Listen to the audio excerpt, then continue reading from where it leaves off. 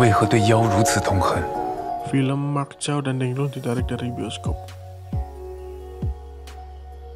Film China The Yin Yang Master, Dream of Eternity, yang dibintangi oleh Mark Chow dan Deng Lun ditarik dari bioskop terkait dugaan plagiat.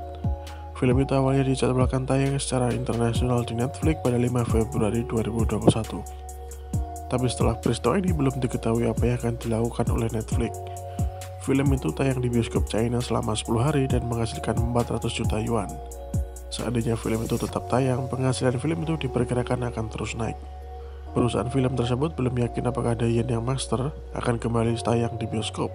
Jadi kemungkinan memperoleh keuntungan cukuplah rendah terutama karena investasi awal mereka sebesar 300 juta yuan. Tangkapan layar, Mark Chow mengucapkan mantra Yin Yang Master beredar di internet.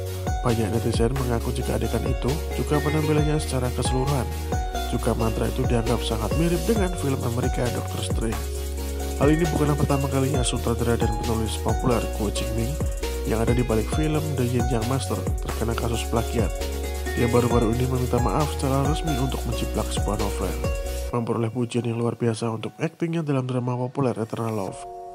Mark mengurangi pekerjaannya supaya bisa menghabiskan lebih banyak waktu dengan istrinya Gao Yuan Yuan dan putri mereka. Mark memperoleh dua peran utama dalam film besar. Film pertama adalah Saturday Fiction dan kedua adalah The Yin Yang Master. Saturday Fiction awalnya dijadwalkan tayang pada 2019, tapi saat ini jadwal tayang film tersebut belum ditentukan.